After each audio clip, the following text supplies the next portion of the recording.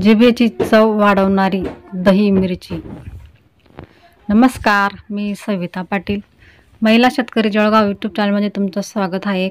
आणि आज बनवणारी मस्त दही मिरची. तर बघा इथं हिरवी मिरची असे छोटे छोटे असे कट करून घेतलेले आहे. तुकडे करून घेतलेले आहेत आणि इकडे दही घेतलेले आहे मी. तर दही एकदम घट्ट घ्यायचं आहे पातळ नाही घ्यायचं. आहे बघू शकता तुम्ही बिलकुल त्याच्यात पाणी नाही एकदम घट्ट गोळा आहे. तर अशी मी बारीक बारीक कश मिरची कट करून घेतलेली आहे ना आज मस्त दही मिरची बनवणार आहे मी. तर इकडे गॅसवरती कढई ठेवलेली आहे. आता अगोदर आपण मिरची एक ते दीड मिनिट भाजून घ्यायची. मी त्याच्यात तेल वगैरे नाही टाकणार आहे अगोदर पहिले एक दीड मिनटं आपण मिरची छान अशी कढईमध्ये भाजून घेऊ व्यवस्थित. तर बघा छान असा कोरडापण आलेला आहे मिरचीला. वलचरपणा निघून गेलेला आहे. तर मी एक दीड मिनटं अशी छान भाजून घेतली अगोदर. आता याच्यामध्ये आपण तेल टाकून घेऊ.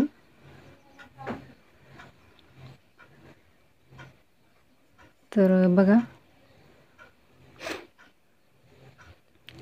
आपण आपल्या आवडीनुसार तेल टाकायचे आता. तर मी दीड पळी तेल टाकलेलं आहे. आता अगोदर छान असं छान मिक्स करून घ्यायचं तेलामध्ये मिरची. तर बघा मी असं एक मिनटं परत तेलामध्ये छान अशी तळून घेतलेली आहे. आणि इथं मी आता लसूण घेतलेला आहे बघा. लसूण असा मी जाडसर ठेचून घेतलेला आहे. आणि लसूण पण छान आता तळून घ्यायचं आहे मिरचीसोबतच. ही रेसिपी पटकन होते दही मिरचीची रेसिपी काही जास्त वेळ लागत नाही. आणि खूप छान लागते. आपण डाळ भात सोबत पण खाऊ शकतो. खिचडी सोबत खाऊ शकतो किंवा आपल्याला आपल्या जिभेला चव नाही आहे त्यावेळेससुद्धा आपण अशी मिरची बनवून खाऊ शकतो मस्त. खूप छान लागते. तर बघा मी इथं छान अशी दीड ते दोन मिनटं छान मिरची तळून घेतली तेलामध्ये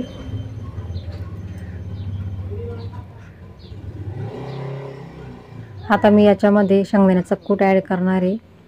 शेंगदाणासुद्धा मी असे बारीक जास्त दळलेले नाही जाडसर दळलेले आहेत मिक्सरमध्ये आणि आता छान असं मिक्स करून घ्यायचे मस्त.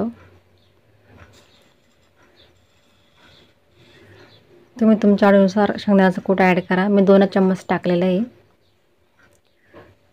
आणि ही रेसिपी पटकन होते पाच मिनटात तयार होते मस्त. तर मी दोन मिनटं छान असं परतून घेतलेलं आहे व्यवस्थित. आणि आता आपल्याला याच्यात दही ॲड करायचं आहे तर बघा किती घट्ट दही घेतलेलं आहे मी. तर दहीसुद्धा मी दोन चम्मच घेतलेले आहे. तुम्हाला जास्त आंबट लागत असेल तर तुम्ही अजून एखादी चम्मच वाढवू शकता. तर मी दोन चम्मच दही ॲड केलेलं आहे. छान असं मिक्स करून घ्यायचं आहे व्यवस्थित.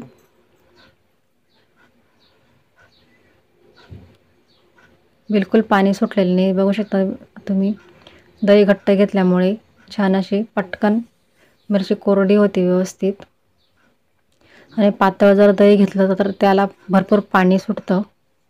आणि दही मिरची अशी पातळ होते तर आपल्याला पातळ नाही करायची मस्त.